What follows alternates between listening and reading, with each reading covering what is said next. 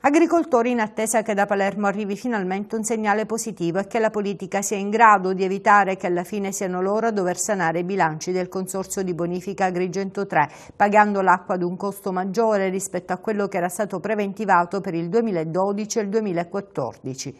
Al momento è questa la situazione. Già da diversi giorni il Consorzio ha bloccato l'erogazione idrica a quanti non hanno proceduto al saldo.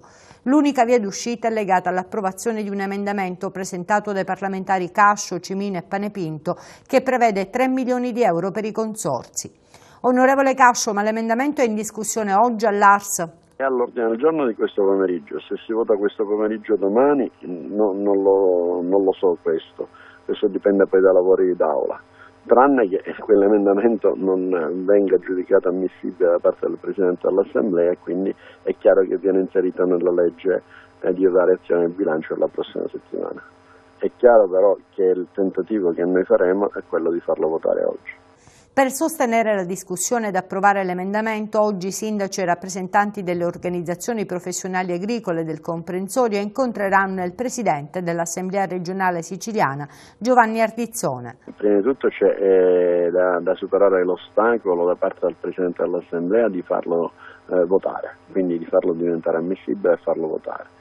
Eh, in aula io penso che la sensibilità dei deputati almeno me lo auguro, ci sia per quanto riguarda il sollievo agli agricoltori.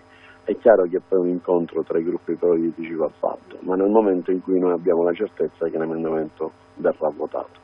Il blocco dell'erogazione dell'acqua in piena estate sta determinando gravi danni economici al comparto. Il finanziamento ai consorsi è l'unica soluzione al momento possibile. La pratica serve a far sì che non ci sia il conguaglio dei 4 centesimi che richiede il consorzio di bonifica nel senso che il prezzo dell'acqua resterebbe a 15 centesimi e quindi non, non ci sono i 4 centesimi di conguaglio.